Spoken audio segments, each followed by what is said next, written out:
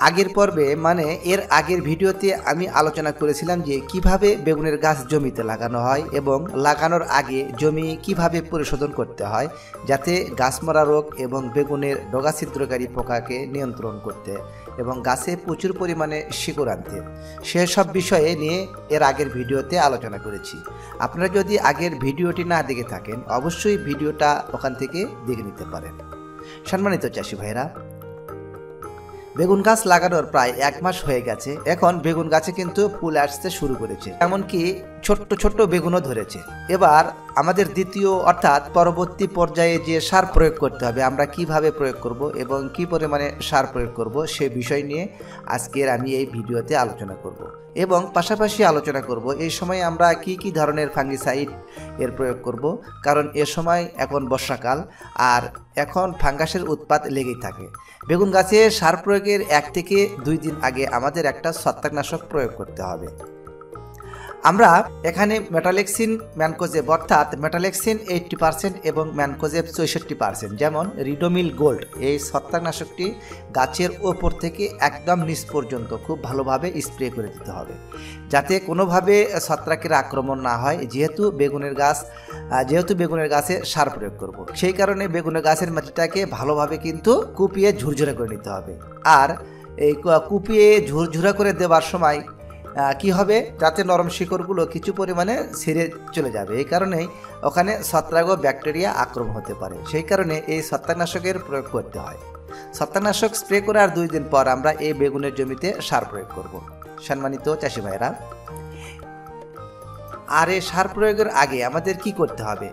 বেডের দুই পাশের মাটিগুলোকে ভালোভাবে কোদাল দিয়ে কুপিয়ে ঝুরঝুরা করে নিতে হবে। আর এই ঝুরঝুরা করে মাটি একদিন রাখার পর কি হবে? মাটিগুলো খুব ভালোভাবে শুকিয়ে যাবে।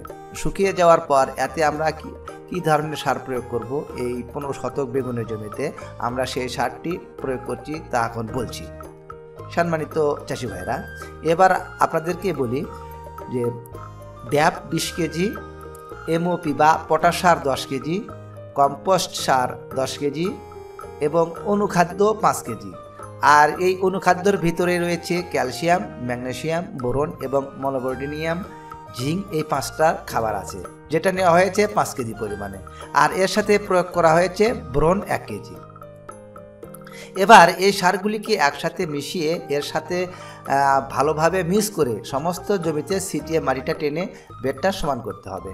ঠিক সার প্রয়োগের এক থেকে দুই দিন পর বা এক থেকে বা একদিন পর যদি বৃষ্টি না হয়, তাহলে হালকা পরিমাণে পানি সেচ দিতে হবে ঠিক এই সেচ দেওয়ার সাত থেকে দশ দিনের মাথায় আমরা প্রথমে জীবাণু সার প্রয়োগ করব।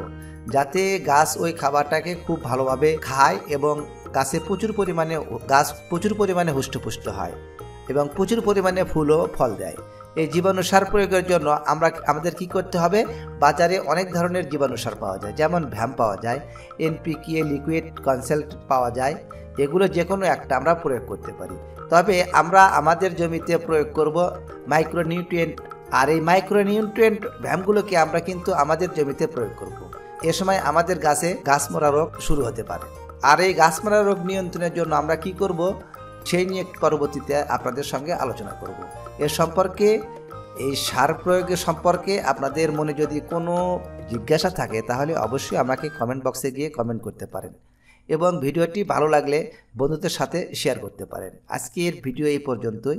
আবার দেখা হচ্ছে পরবর্তী এক ভিডিওতে। সে পর্যন্ত ভালো থাকবেন, সুস্থ থাকবেন এবং বেগুন গাছের বেশি বেশি যত্ন নেবেন।